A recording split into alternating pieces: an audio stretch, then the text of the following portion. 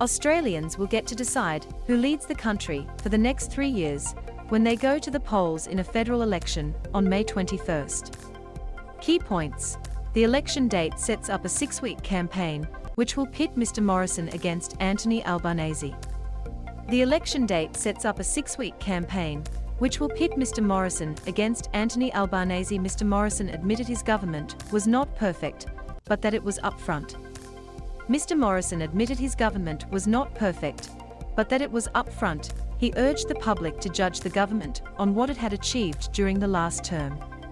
Prime Minister Scott Morrison locked the date in today after visiting the Governor-General in Canberra.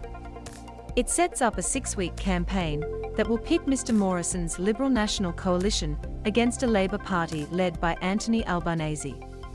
Mr Morrison said he did not think his government was perfect, but that the public would judge it on what it had done over the last term. Our government is not perfect, we've never claimed to be. But we are upfront and you may see some flaws, but you can also see what we have achieved for Australia in incredibly difficult times, he said. You can see our plan. Our plan will deliver more and better jobs and the lowest unemployment seen in some 50 years.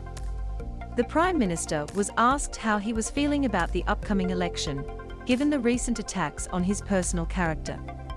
Mr Morrison has been accused of being a bully and a liar by members of his own party, including Deputy Prime Minister Barnaby Joyce, claims he has denied. This election, others will seek to make it about me, but it's about the people watching this right now, Mr Morrison said. It's about them, what we've demonstrated over these past three years is the ability to make those decisions that has ensured that Australia's recovery is leading the world. In calling the election, Mr Morrison becomes the first Prime Minister since John Howard, more than 14 years ago, to serve a full term as the nation's leader. The coalition is seeking its fourth term in office, while Mr Albanese hopes to return Labor to government for the first time since 2013. Mr Morrison said voters would face a choice when they walked into the voting booth. He urged them to stick with a government they knew amid uncertain times, listing war in Ukraine, a lie pandemic, and an economy recovering from recession as the biggest issues Australia was facing. The battle ahead. Mr Morrison's coalition begins the election notionally with 76 seats, the bare minimum for a majority government.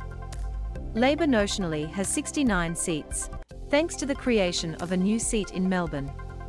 The opposition needs four seats to get ahead of the coalition and seven seats for a bare majority. The ABC has tracked the travel of the leaders of Labor and the coalition since late last year.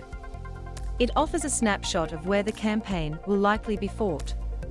Labor hopes to make gains in Western Australia, Queensland and Northern Tasmania, while the coalition is seeking gains in New South Wales and the Northern Territory. Mr Albanese has claimed underdog status as he seeks to return Labor to government. Stay up to date with the 2022 campaign. Download the ABC News app and subscribe to our range of news alerts for the latest on the federal election. M to mute, left and right arrows to seek, up and down arrows for volume.